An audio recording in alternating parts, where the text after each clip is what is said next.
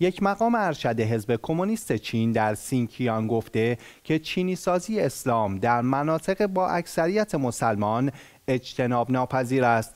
این تاکید مقامات ارشد چین در حالی صورت می‌گیرد که نگرانی ها از سرکوب و فشار بیشتر علیه مسلمانان اویغور در چین به ویژه در ایالت سینکیانگ این کشور افزایش یافته است. بر اساس گزارش نهادهای حقوق بشری بیشتر از یک میلیون مسلمان اویغور از چند سال به این سو بازداشت و در اردوگاه های بازآموزی به سر می‌برند. با هم گزارش همکارم علی اکبری را ببینیم. خبرگزاری رویترز خبر داده دبیر حزب کمونیست سینکیانگ در حاشیه جلسات سالانه پارلمانی چین در پکن. به خبرنگاران گفته است که اسلام در سینکیانگ نیاز به چینی سازی دارد. و این یک روند غیرقابل اجتناب است رئیس جمهور چین هم پیش از این بارها خواستار چینی سازی ادیان از جمله اسلام، بودایی و مسیحیت شده است و از پیروان ادیان خواسته است که بیش از همه به حزب کمونیست وفادار بمانند. بر اساس گزارش یک اندیشکده استرالیایی از سال 2017 حدود دو سوم مساجد در سینکیانگ آسیب دیده یا تخریب شدند. چینی سازی اسلام واژه‌ای است که شی جینگ پینگ رئیس جمهور کنونی و دبیر کل حزب کمونیست چین آن را برای کنترل مسلمانان و اماکن منتسب به آنها به کار برده است. چینی سازی به فرایندی اشاره دارد که طی آن جوامع با ادیان و مذاهب و فرهنگ غیر چینی تحت تاثیر فرهنگ اجتماع، سیاست یا سیستم اقتصادی چین قرار می گیرند. این می تواند شامل پذیرش زبان، آداب و رسوم، سنت، قانون، فلسفه سیاسی، معماری، آشپزی یا سبک زندگی چینی باشد. این فرایند می تواند به صورت داوطلبانه از طریق تبادل فرهنگی و تجارت یا از طریق کنترل سیاسی و سیاست های همسانسازی اجباری رخ دهد به ویژه از پنج سال پیش سیاست های فشرده برای تطبیق تفکر و بینش اسلامی با ارزش های چینی از جانب حزب حاکم مد نظر قرار گرفته است. پکن در سال 2017 پس از موجی از اعتراضات خشونتآمیز قومی یک سرکوب امنیتی شدید را در سینکیانگ آغاز کرد که طی آن طبق ادعای گروه های حقوق بشر بیش از یک میلیون نفر از اقلیت های مسلمان مختلف در اردوگاه های بازآموزی بازداشت شدند.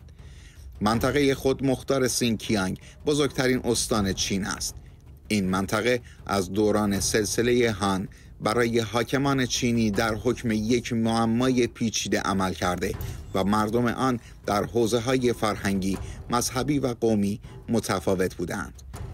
نژاد غالب مردم این منطقه اویغور است که از اقوام ترک تبار و عمدتا مسلمان محسوب می شوند و به زبان اویغوری سخن می گویند. افزون بر این ویژگی های جغرافیایی و وجود یک منطقه مرزی از عوامل دیگری است که کنترل چین بر این منطقه را به چالش کشیده است آمار دقیقی از تعداد مسلمانان چین ارائه نشده. اما گفته می شود حدود 60 تا 70 میلیون مسلمان در چین زندگی می کنند. علی اکبری اخبار شیعه. رحمت رئیسی کارشناس مسائل سیاسی از تهران با ما همراه هستند سلام وقت شما بخیر. آقای رئیسی چینی سازی اسلام واژه‌ای که رهبر چین از آن استفاده می کند آیا مفهومی جز مخالفت با آزادی و حق انتخاب مردم و نقض حقوق بشر دارد؟ من هم عرض سلام دارم و ادب و احترام خدمت شما و بینندگان عزیز برنامه.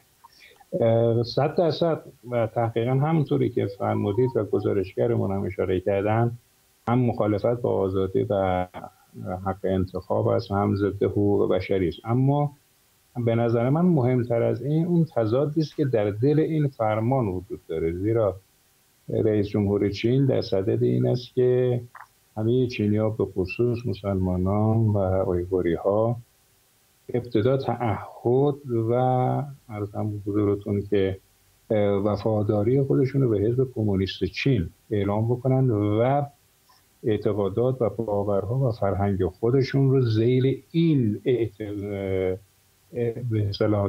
اعتقاد و تعهد تعریف کنه به این تضاد درونی چرا که همونطوری که می‌دونید ایدئولوژی کمونیستی یک ایدئولوژی خدا ناباوری در حالی که ایدئولوژی الهیاتی یک ایدئولوژی است بر محور خدا و خداگرایی و باورهای معتقد به اون. لذا وقتی این اصرار به این تفکر می‌خواد رواج پیدا بکنه در حقیقت داره اون اقدامی رو که داره می‌کنه عبارت است از این است که ایدئولوژی مارکسیست مارکسیست ماویستی یا ماویست کمونیست که ایدئولوژی قالب حاکمیت بر چین هست این در برگیرنده خود اون اندیشه ها و باورها و اعتقادات و باورهای اسلامی باشه بله. این هست که این تضاد بسیار تضاد نادرستی است و هم به لحاظ نظری غیر قابل قبول است هم به لحاظ عملی ناشدنی است بله.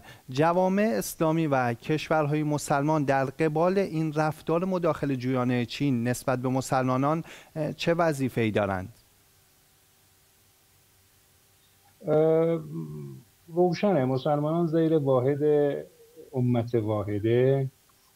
باید نسبت به همبستگی با همدیگر و پشتیبانی و حمایت از دیگر برادران و خواهران خودشون در افسان نقاط جهان از جمله در آیورها و در سرزمین های چین همبستگی خودشون رو با تظاهرات پیوسته و نیز با به کارگیری قلم و نشر واقعیت های موجود در اون جامعه که چه ظلمی داره بر جامعه میره و روشنگری در افکار بین المللی این یک اقدام بسیار مؤثری است که می‌تواند جامعه اسلامی رو هم بسیج بکنه بله. هم حمایت و پشتیبانی خودشون از مسلمانان آیه نشون بده اون سوی قصه یک فشاری است که باید بر دولت های خودشون بیارن که در این برهه حساس اونها وادار و عکس بازدارنده بشن تو خصوص در این لحظه تاریخی که می‌دونیم چین وابستگی زیادی به انرژی و نفت منطقه مسلمان ها داره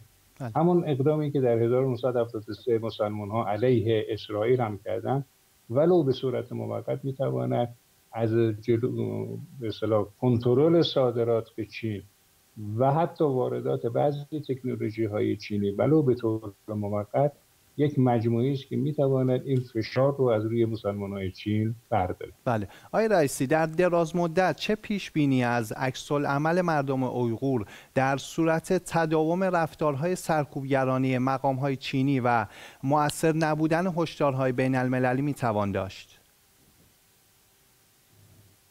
ببینید تاریخ اسلام مشهون از این هست که مسلمان ها تحت شرایط مختلف و فشارهای مختلف رفتارهای بازدارندگی همواره داشتن ما نمونه اون رو در عصر جدید داریم. ببینید در ترکیه معاصر خب می‌دونید که ترکیه ترکیزم همین بود که ناگهان دست به این عمل زد که اسلام رو اسلام ترکیه بکنه زبان عربی رو حذف کنه نماز رو به زبان ترکیه بکنن ترکی بکنن علما و روحانیون رو کنار بزنن.